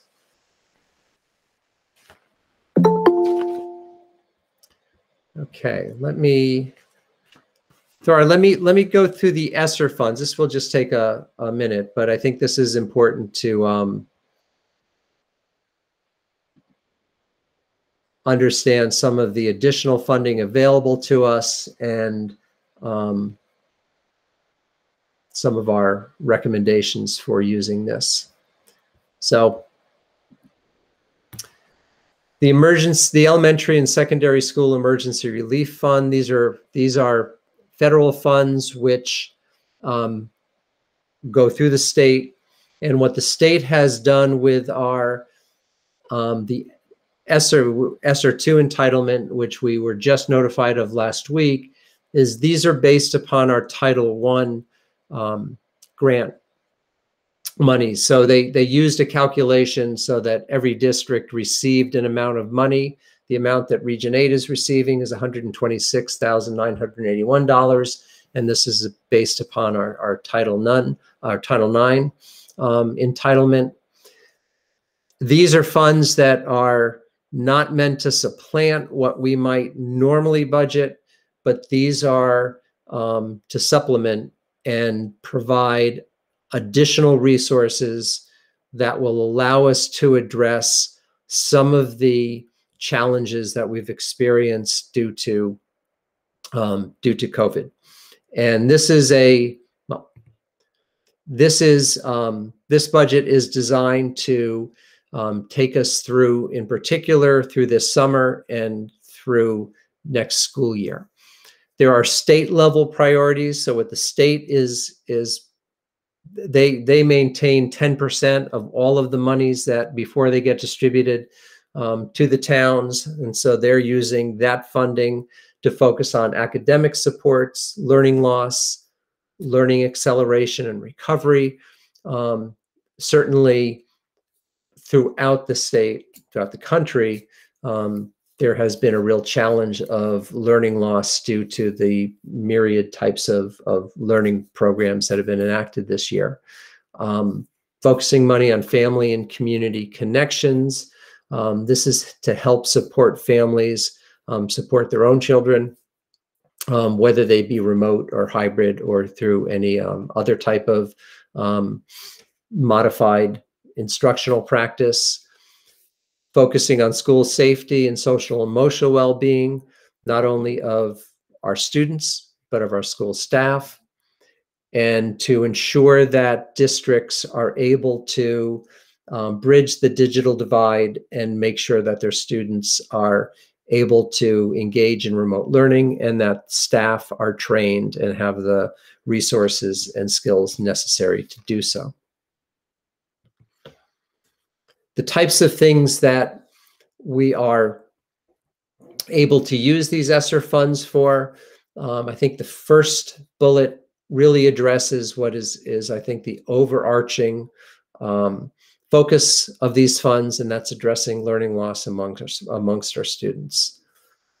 Looking at activities to address unique needs of low-income children, um, children with disabilities, English learners, minority students, students experiencing homeless. So this this is a um, you know also a pool of money that we can use to support those students who are most disadvantaged. Training prof um, and professional development for staff on sanitation and minimizing the spread of infectious diseases. And to go along with that, purchasing supplies to sanitize and clean facilities. Um, and then if necessary, planning for and coordinating activities during any long-term closures. So these are the types of things that the money is earmarked for, although I would um, suggest that really based upon the state areas of target, it's the first two bullets that they're um, they're most concerned with. Um, purchasing ed, additional uses, purchasing educational technology. Another of the, the state focus areas, providing mental health services and supports, planning and implementing activities related to summer learning. Um, I've starred these these last two only because they're they're new to the ESSER fundings. The original ESSER funding one did not include these, and this would include facility repairs and improvements, that would allow a district to reduce the risk of transmission within a building um, and in inspecting and testing maintenance, repair, and replacement um, to upgrade indoor air quality.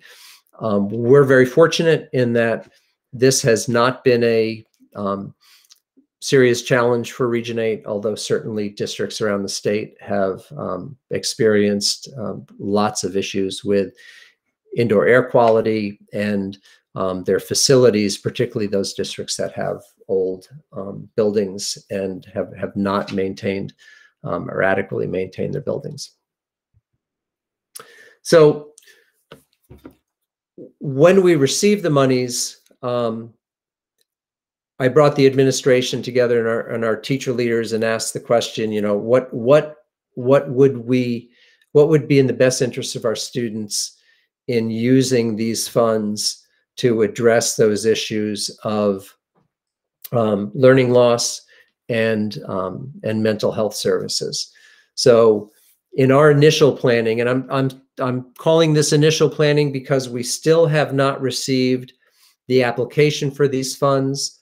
Um, although we have been allocated the almost $127,000, we still need to complete an application process to actually receive all the money. And we have to demonstrate that we have a plan that fits within their parameters and that we have a plan to, to spend the money. Um, in our initial planning for RHAM, um, for both the middle and the high school, some of the programs that we would be interested in looking at would be summer school programming. We typically don't offer summer school programming. We offered some online summer school programming last year and found that to be um, less than um, what we were hoping it to be. And so when we talk about summer school programming, this would be to actually hire teachers to come in and work um, with with students on either more one-to-one or in small group settings so that a student who may have had difficulty working through this year will have that personal connection and and hopefully a better chance of success um, in doing credit recovery over the summer as opposed to simply working in an online um, format which might have been part of their problem all along um, assessments to measure student progress. Um, we are looking um, to make sure that we understand where our students are so that we can tailor our programs to address specific learning losses. And in particular, we'd be looking at reading and math. Um, additional instructional time for advanced placement courses. One of the one of the benefits that I, I think a lot of our teachers across the country have have been able to take advantage of is that as instruction becomes interrupted, they're able to focus on those skills that are, are most germane to what it is that the, the course covers and that are most important for students to walk away from the course with. So there's been significant modifications with with curriculum and um, the breadth of curriculum. That's not necessarily true for advanced placement courses. The College Board has not reduced the amount of material that students are expected to um, cover in the advanced placement courses. So um, we're looking at the possibility of, of adding some additional money um, that would allow us to allow our teachers to provide additional um, instructional time um, for students in advanced placement co um, courses. Next year, at the middle school in particular, um, a recommendation to possibly add some additional academic labs to each team.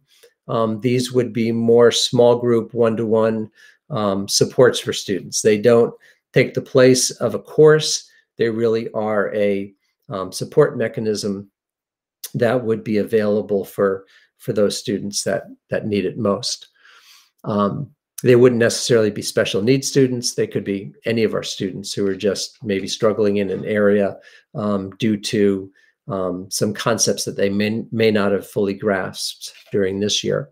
Um, and possibly looking at some additional time for student mental health services, whether it be a um, part-time social worker, counselor, um, but provide some additional services for our students as we transition back into our um, a normal school year next year. These are just some of our initial thoughts, and I wanted to share that just to show you kind of the the area that we're thinking of for this for this money. Um, as I said, we still have a ways to go for this. The portal will be open in February, early March. We'll need to do a needs assessment. Why are we asking for these things? What's the evidence to show that these are, are challenges for a district? um, program narratives to describe the programs, and then specific um, funding requests. And um, so I think one of the reasons for my um, kind of thorough review of that is that so we do have this pool of $127,000. Um, I think an easy use of the money would be to say, well, let's use that to cover some of the extra mitigation money that that Michael described earlier this evening, um, or some of um, cover some of the um, the custodial fees that we believe um, will be important to budget for.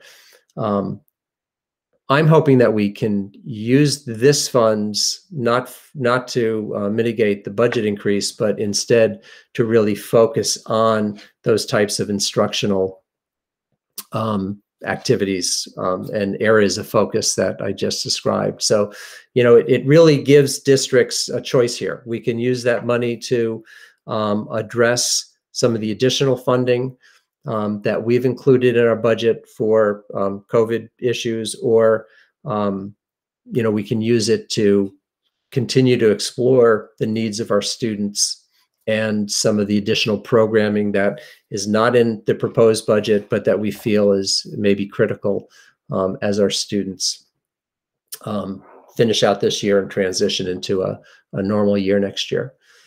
Um, so, and I'm, I'm hopeful that uh, with the budget coming in at this point at, at 2.2%, we'd, we'd be able to have that flexibility. So I'll, I'll open it to questions.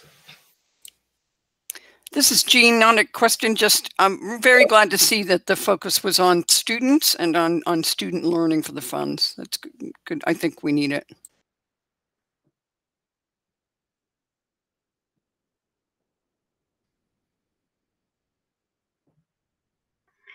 Scott, this is Stephanie.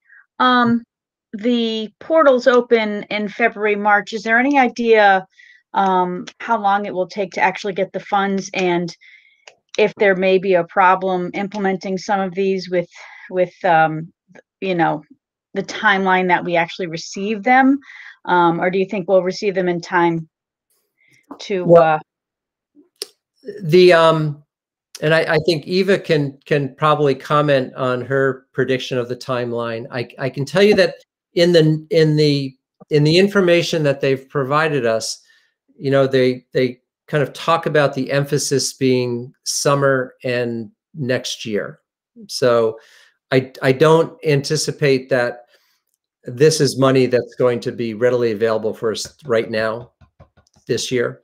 Um, we may get lucky and there may be, you know, some of it may be available for for the spring, but I think the vast majority of it, if not all of it, is really going to be for the summer and and moving forward. So on our phone call, it was stated that the um, needs assessment was still being developed by the State Department of Education. And the other complicating factor of this is is that OPM is in charge of these funds. So OPM requires a lot I guess, more stringent um, factors or, or um, checks and balances to ensure that we're spending the money with the way that the federal government has um, so written the way that the money is supposed to be spent. Um, Eva- so having stated that it's supposed to be open on February 22nd or the week of February 22nd, but seeing how we waited, I believe, a good month before they even told us that much information from when they when we originally expected, I, I don't hold my breath for February 22nd. Eva, what was the first thing you said? Do you do you recall? Um, the fact that the needs assessment is still being developed by the State Department of Education. So the needs, so part of the grant application process. So even though we've been allocated this $127,000, the grant, we have to apply for the grant. As part of the grant application process, there's a needs assessment that needs to be completed by the district. Um, and that basically tells them um, that we really do need what we're asking for and, and we'll utilize it in the way that we are thinking that we want to. And if they see that the needs are greater than what yep. the money is allocated. The state has extra funding that the state's allowed to utilize, and the state can then add that money or that kind of programmatic to their kind of funding. Okay. And I, I agree with Jean. I liked the focus It, it, you know, and, and I and I think you know, and I th- I think Eva, what what you've just described is really kind of also important to understand that um, if a district wanted to use this money, say to mitigate any budget increase going ahead to next year, it that might be a difficult task. Only in the timeline may not necessarily line up with um, our budget process in that um, we don't know how long it's going to take to get the needs assessment done and, and to move through the process. So we may or may not even, you know, really understand what it is that we're going to be able to use it for um, until the budget process is probably almost done.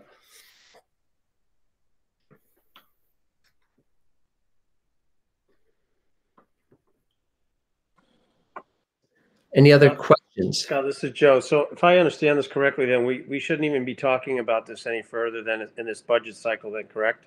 That would be my recommendation, Joe, yes. And now, I'm going to, having said that, I'll, I'll just to add to the, to the potential confusion with additional funding coming in, um, it's likely that any stimulus package that's passed um, in Congress will have money for school districts that is a, an entire mystery at this point. I, I wouldn't even pretend to predict what that might be usable for or what that might do for us. Um, but I would agree, Joe, that I think this funding is is you know I would prefer that we not talk we not use it as part of this process so that we can um, you know take full advantage of it to support our students. Not that the budget doesn't do that, but um, you know having considering where we are now and the needs of our um, students and community, I think that it it has better purposes other than you know being considered as part of the budget. Well, thanks for being honest with that. I, I also think that we could, eh, you know, we could develop a game plan uh, to utilize that this money as a as a capital need futuristically. That this a lot of this stuff falls into their spectrum of capital, doesn't it? Capital improvement. Um, not if we use it for um, like student learning pieces. So if we're providing extra support for students with academic labs or extra support for AP students, um, extra support for summer school, those sorts of things, those wouldn't. A district could use it for a capital piece if they needed to say, um, you know, upgrade an air handling unit or something along those lines. You know, some some of the um, more disadvantaged districts are getting amounts, you know, in the multiple millions, and so for them, it might be a more realistic use of that money to say we're going to upgrade our air handling units so that um, we have healthier air within the building, climate in the building. But I think for RHAM, probably I, I I don't think that this would be a capital item. I think this would really be more used for program um, and instructional. But it's not all right. So the money, it's not really. There's no restriction to offset our budget for this money from the state, right? This is state money or is this federal money? Federal, federal money? It's federal money that that comes through through the state. Um, we cannot use it to um, supplant anything that's already in our budget. So you can't say, well, we, we, we typically budget for this and we'd like to use this grant money to cover those costs. We, we can only use it to supplement and do something that we wouldn't typically do. Um, and and it's doing something that we wouldn't typically do with with some relationship to addressing COVID.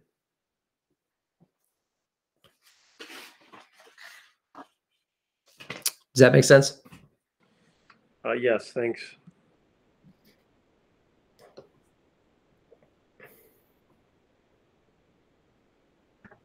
Okay. Are there any other questions for Scott? Stephanie, are we going to open up for, because this is a budget workshop, right? Mm-hmm. Yes, it is. Okay, so we're, we're, we have opportunity here to ask other questions other related to, or are we only sticking to the agenda? Well, it is a budget workshop. Um, Scott? Are we, do you think we need to open it up for other, other budget questions, right, Joe? That's what I would like to do. I mean, Yeah. since we're, uh, I mean, it is a budget workshop, so I, my interpretation of why we're here, right? Besides Yes. Scott Correct. delivering on the agenda items of the three, you know, technology, athletics, and facilities. Absolutely. Yep. Go ahead, Joe. I, that was my question. I just want to ask, as- you know, Yeah. maybe there's other board members that have other questions, but. um, Yep. Well, we'd be happy to answer, entertain any questions. And obviously, if we don't have the answer right away, we'll certainly get them for you. Right, right now, just looking forward, we have um, at the regular Board of Ed meeting on the 22nd, we have essentially, we'll also schedule a budget workshop session. Um, we will have the coordinators will attend that meeting.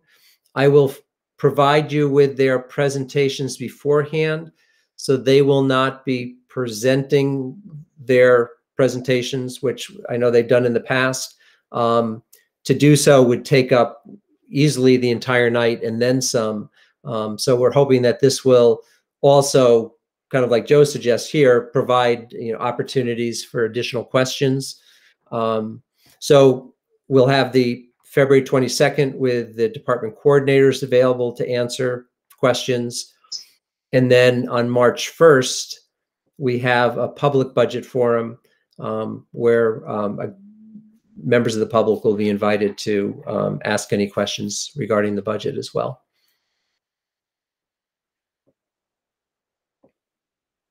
So I'd, I'd be happy to answer any questions or entertain any questions. And if I can't answer it now, we'll certainly come back with the answers related to the budget. Does anyone have any questions? And Don't forget, you can always email Scott Absolutely. um, with questions, uh, if, if any, um, pop up before the next meeting, so. Hi, this is Jean. I, I just want to say it seems it feels a bit of a moving target right now. So it, it, it's hard to have questions of something that's changing pretty quickly. Um, and and yes, you're you're certainly correct, Jean. I think right now it it's it's pretty settled in. I think that uh, you know we're not going to be seeing these. You know, I, I wish I could tell you that you know, I've got another savings of four hundred thousand next week. Um, but no, we're we're past that. So it, it's it's pretty settled in. Any any changes at this point are are going to be fairly uh, minor. Okay, good to know. Thank you. Yeah. All right, well, if there are no any, um, no other questions, we'll move on to, um, Stephanie, I, I, I was waiting. Uh, I do have a Oh, couple sorry, Joe. Go So, ahead, Joe. um, Since nobody else has any, um, I'd like to look at, um, um, since the budget, if we were to increase capital, um, I've reflected on some of the, um, and I've shared this with some other board members. Um, you know, we continue to move in a, in a negative direction with capital to, um, kind of squeeze whole, squeeze us into a, a number for, that's approved or palatable for the, for the taxpayers. Um, so I, I'd like to see if, you know, for the next, uh, budget, what it would, what the budget would look like with us getting to either four hundred fifty thousand or five hundred thousand dollars in capital. So that would be my starting point. Um, since it is a moving target. Um, we've, we- you know, last year we were at three forty-three, we've now we're down to two ninety-nine. Year before that, we we're, uh, up higher than that. You know, um, we have some significant, um, major items that are coming our way. Um, and I, and I think we need to start thinking, uh, about how, uh, we, we budget, uh, appropriately for, for capital. We're doing it with, uh, with IT, which I think is proven to be a, a valuable asset and how we're, how we're budgeting for IT each year. We're also doing it with health insurance for the consortium. Um, um, a question for Mike Schlehofer would be, uh, I'd like to know what the number is for when the roof is going to become due, and I think it's coming due in five or six years. What is that going, that cost? It's not in your, it's not in the calculated uh, capital for, uh, on page 27, 28 for the next uh, uh, items that we have. So uh, I- I'm very concerned about where we're going to be. And I know we have a debt consolidation, but we, we need to start thinking as a board where we're going to be and how, what our master plan is going to be to, you know, um, we're talking about kitchen equipment that's uh, going to be replaced. Um, and um, I think we're going to be having some challenging years coming forward. So I think we need to re- reevaluate capital um, and how those numbers are going to look at since we're we're in the budget process. So that would be my uh, my my suggestions, and I like to have some other conversations with you, Scott, uh, and, and and and Stephanie, if you'd like. But um, in the facilities, I I don't think we've um, you know we came in at 299, but I think that's because of some of the recommendations that have come in um, without looking futuristically on, on some of the big big items that are coming due. So I like to think we should look we should re, rethink that. So, So, go ahead. just so I understand, so what you'd like us to do is to um, take this budget proposal and and bring in next year. What would it look like if capital, rather than coming in at two ninety nine, came in at either four fifty or five hundred, just to get an idea of what does that mean as far as the overall increase. Correct. Gotcha. Okay, and and specific um, figures for the roof repair. Correct. Yep. And, and, and I also just want to plant the seed for, for the board members. You know, you know, we, um, for some of the board members who weren't here before, we, we've been doing, you know, we would always sacrifice to get to a number. So we would take whatever we, the facility director recommended in capital, we would, and then we'd try to get to a 3% or a two and a half percent. And then we would just continue to prolong capital. And that's not a good way to budget. And then since we bifurcated the budget, I think we have support for capital in our three towns, which uh, clearly over the last three years ha- have supported that. Um, so I think we we know we have an aging building, and I just want to mention this that we we're going to continue to have things that are going to fail, and uh, we should start thinking along those lines how we really want to budget and do we really want to you know maybe say we budget 450 500 every year going forward um, in our capital budget in order to you know we have the mechanism with the capital non-reoccurring that you can roll these numbers you can roll those things back into that that capital number. Um, and then it's hopefully it's a way of saving to when we get to the five or six or seven year mark whatever we're going to have to replace the roof or something else that we we have money and then we don't have to go and bond it. Um, it's just another way of thinking that's all. Mhm. Okay, so I think that um, you know is certainly worthy of exploring, and I was pleased that you had a report this evening on sports. Additionally, to kind of piggyback on Jean, I want to see academics really supported, and then. And you know, perhaps you feel like that's being done, and perhaps it is. But I would like to see that um, even to a greater extent. Uh, what are we imagining for mathematics, for coding, for world language? Because, um, you know, I, I agree that a healthy sports program is really incredibly important. And I think I shared when I worked on the other side of the state the pride from some of the buildings over there was um, something. It is beautiful, and I would love that level of upkeep on our on our facilities but um as as important certainly we are a learning organization i really want to know what we're doing for as you said supporting our ap kids our world languages our science um you know technology mathematics Yep. so i guess i guess as you have been trying to do is yes aligning with our strategic plan but also to be kind of furthering that along because not that it's getting old but it, you know the world is a, is pretty much changed with the pandemic since the strategic plan as far as academics and certainly delivery of academics and instruction And, and Judy, I think a lot of like your questions are going to be really pertinent on the 22nd with the coordinators because they certainly are, you know, our academic champions. And I think I, I, I, I know they are, and I want to keep that. And um, Joe, as always, you have a great idea. So I'm kind of uh, piggybacking on you and um, building off of that. it's good judy It is. Well, you got to keep, you got to, you know, you, you, you always reel it back in, you know, at, from the education side, which is, your strong your strong suit, and you know, um, and I again, we they're they're they're both they go go hand in hand. I listen, I agree, and you know I do. I do. I, I told you guys about when I worked on that other side of the state and how amazing those buildings were. But anyway, we can talk offline about that. Yep. You know, and just to to kind of, I think that this in in some ways relates to the point that Joe is making.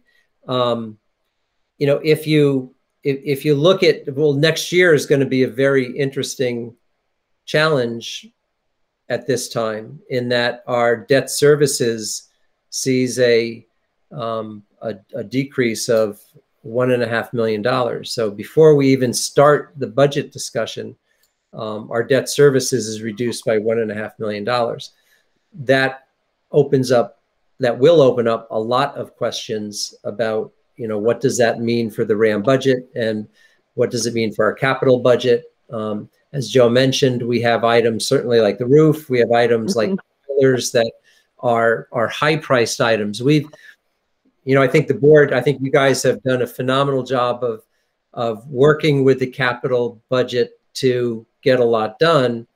But you know, there are some capital items that dwarf anything that you know we've been able to um, successfully tackle over the last few years. The roof and boilers. So I've heard that about um, you know uh, uh, about how that will look different um, next year. There'll be kind of an opportunity. Has that conversation been occurring with um, the three boards of finance? Not yet, Judy. No.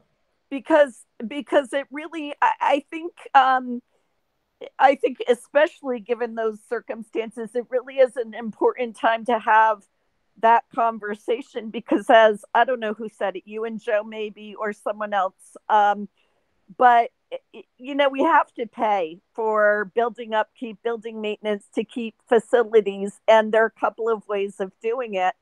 And we've dealt with bonding and i'm not sure how much people love it. There's some challenges with that as we know so it- seems like um scott i don't know where that falls into this but you let us know at another board meeting or another budget workshop about that and that it you know i don't know what it, do you and stephanie have thoughts on how to um communicate or get input from the towns?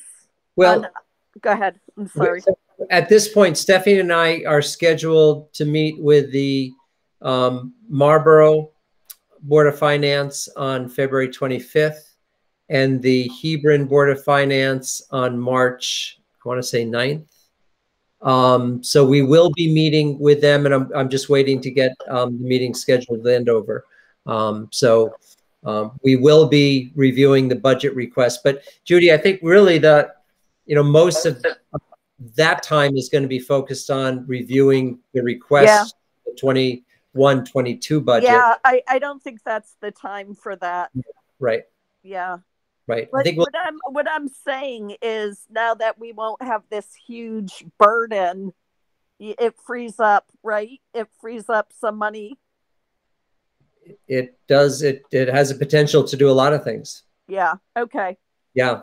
And that I mean it's it's a conversation somewhere because as you and Joe and maybe others just said, there are a couple of different directions that we could we could go and you know. I, you know, my, my suggestion would be once we finish with this budget season, that, you know, we at least begin to start asking the question, you know, what might we, what direction might we want to go in this area? I, I think, sense, Scott. I think, I think it would be a mistake to wait until this time next year and I do too. oh, you know, because because we're not going to make the thoughtful decision, you know, if we start thinking if we if we make it in a month as opposed to thinking about it for the next, you know, ten months. Does everybody else think that makes sense? I think that makes sense, and I that's what I was trying to ask. It feels too messy to throw in right right now, Mhm. and I don't Right. think it's appropriate at those meetings. But um, to maybe wrap up this budget and then really begin that robust conversation. Okay. Absolutely. Well, Judy, Judy, that's that's kind of why I brought it up. I mean, it's it's you know we're we're doing a lot of great things. I think when how we administration and, and their teams are working with budgeting, like I already mentioned, that's a couple of areas.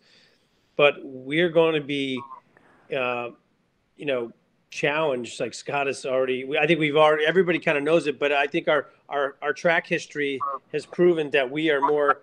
Um, reactionary than we are uh, proactive on how we plan. And I'm just throwing it out there to the board um, that there's some significant items that are coming uh, that, you know, when we reduce the debt, that you're going to have, even though you reduce debt, you're going to have to look at what is you going to replace it with because, you know, we're going to have a roof, we're going to have other um, Yeah. untimely events that pop, you know, th- equipment fails.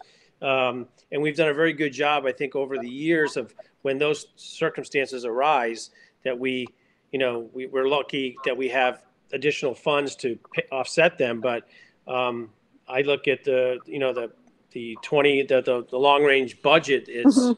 is pretty surmountable. That how, and then we we do need to have a conversation this year after budget to plan and Mhm. maybe come up with some uh, um, scenarios for the three towns to say, look, uh, in Yeah. five years, this is this is what we're going to be looking at. That's all.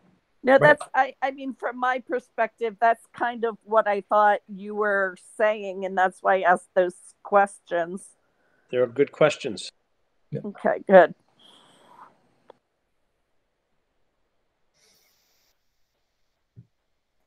Are there any other questions at this point?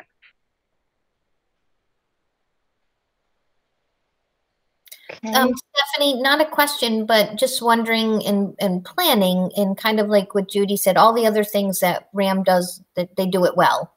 Um, but thinking off of uh, coming out of a pandemic, are there additional staffing needs, supports for our students if we do return back in hopefully in September to a, a full model? And, you know, are those things going to cost? Um, are they going to be additional additions to to the budget? Um, and I want to be sure that you know we're not going to be able to make up everything. It's it's humanity, but we do need to give our best effort for our students. And I don't know if that. I'm sure Scott, you've had conversations with staff about that, but I don't know if it's indica- indi- indicated in the budget. Sorry. Yeah, absolutely. Thank you, Kathleen. And and you know, looking ahead at at next year as far as the instructional side of coming back from COVID, um, you know, we we're we, well, okay. I, I, I've got to be careful how I say this, but you know, our decreasing enrollment does provide some um, some benefits here in that our current level of programming allows us to do a lot that we might not have been able to do should we be looking at an increase in in enrollment or um, or a steady enrollment. So, you know, we believe that the resources that we have in place are are adequate to um, to get us through.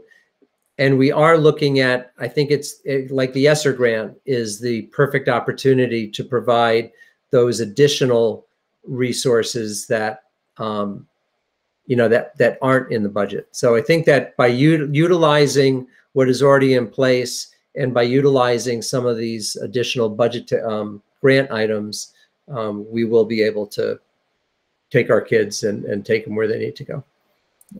That's that's good to hear, and I hope there's also um, supports for students' social, emotional, and behavioral needs, adaptive needs, and um, you know, I'm just wondering, you know, how you're going to measure all that. And I, I know I've had a conversation with you too about, um, you know, I'm worried about those those kiddos and their GPAs in in high school and the effects, the long term effects uh, of you know this year and potentially next year and trying to catch up. So I, I want to make sure that we continue to you know support those kids who this year wasn't their best year, and I don't want it to change their future.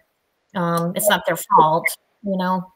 you know it, and it's it's it's it's an interesting conundrum because you know you we we have the new graduation requirements which means that kids you know are, are really filling up their schedule so you know there's not much room in the day to like even if we were going to hire let's say you know we had the um, ability and we hired a, a slew of new teachers it's not as if our students have lots of time to be able to, you know, take advantage of all that. So I think that the more um, targeted um, supports that we're able to put in place are, are going to serve us well. Absolutely, and individualizing that, uh, uh, you know, students are uh, humans and individuals. They might need different things, and uh, I know the staff will be looking out for them. I, you know, yep. um, they've done a great job this year, and I know they're aware of the the, the students that need more supports. Mm-hmm.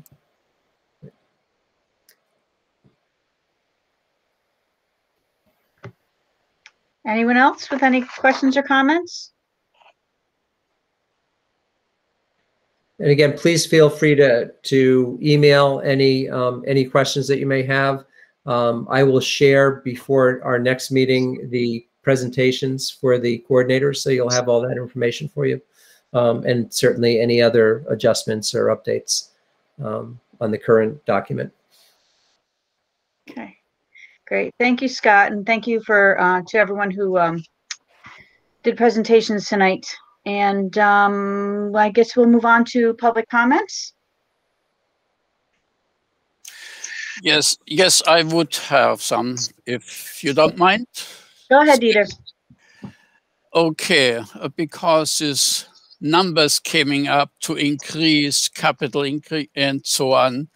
I just like to mention certain numbers which Marlborough have to deal with for example, right now for the current year, Marlborough is paying a levy for 10,300,000. With your proposed, which is great that you're coming up with 2.2% increase. However, that means for Marlborough, 11 million 200 um, thousand and that is a $900,000 increase. keeps us in mind. And this would be about 8.5 increase for Marlborough, just only if you're coming in with this 2.2% increase. Also Marlborough is in bad shape this year again.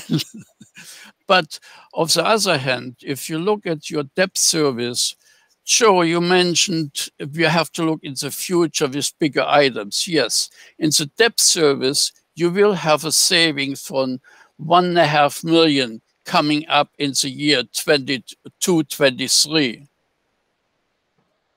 And there you can already uh, figure out what else you can do with that um, to buy capital equipments one-time purchases.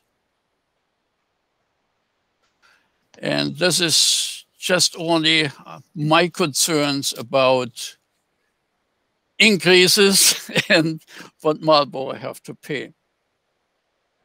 Thank you. Great. Thank you, Dieter.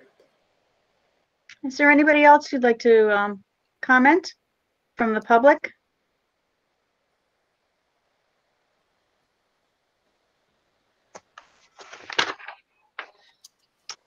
Okay, I'm hearing none at this time. So we'll go to adjournment. Is there a motion to adjourn? Motion to adjourn. This is Kathleen. Second? This is Mary. I'll second it. Is there any discussion? Okay, all in favor? Aye. Aye. That an aye from everyone? Opposed? Okay, meeting adjourned at 8:58 PM. Thank you, everyone. Okay, Thanks, good night, everyone. Thank you, Scott. Thanks, Thank you. everybody. Scott, thank you for your presentation. Great, thank you, Dieter. okay. Is it possible I can, or is it already on the website, the presentation from your teachers?